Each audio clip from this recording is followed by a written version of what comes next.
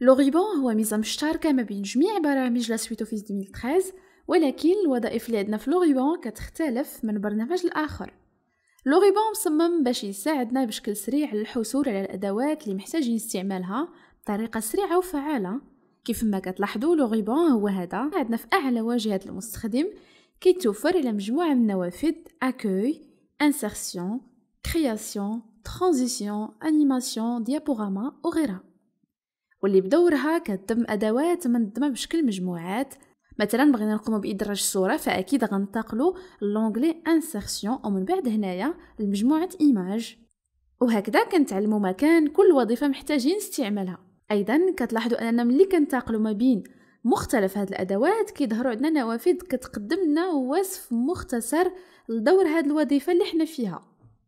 هنا عندنا l'onglet Fichier واللي كيختلف على باقي les onglets اللي شفنا ملي كنضغطوا عليه كنتحولوا مباشرة لهاد الواجهة واللي عندنا فيها مجموعة من الوظائف هنا كيتعرضنا معلومات عامة على la présentation ديالنا ومن هنا يمكن لنا فتح تسجيل طباعة أو مشاركة la présentation ديالنا وغيرها. كنخرجوا من هذه الواجهة بالضغط على Échap في لوحة المفاتيح اولا كنضغطوا على هذا السهم. لاحظوا معايا الآن الا انتقلنا مثلا l'onglet Accueil. عندنا فيه مجموعة من الوظائف منظمة في مجموعات diapositives police paragraphe وغيرها. الا انتقلنا لهذا السهم فهنا كتلاحظوا هذه النافذة اللي كتضم معلومات على دور هذه المجموعة. لا ضغطنا كتفتح هذه النافذة واللي كتشمل المزيد من الوظائف اللي يمكننا نستافدوا منها.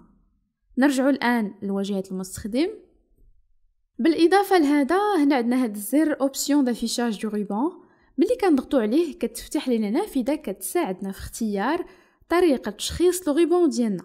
فلا ضغطنا على masquer automatiquement le ruban كنلاحظوا أن le ruban ديالنا كيختفي تماما من الواجهة.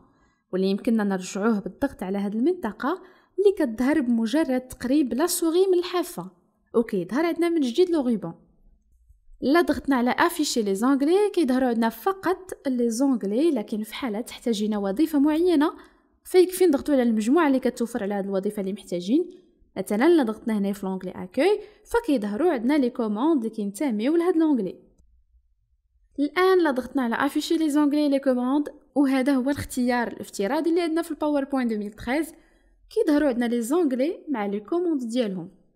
يمكننا أيضا نقوم بتشخيص هاد le ruban بالضغط هنايا. ثم كنضغطو على الزر اليمين في وكنختارو personnaliser le ruban كتفتح لنا هاد النافذة وهنايا يمكننا اختيار إضافة أو حذف أي وظيفة.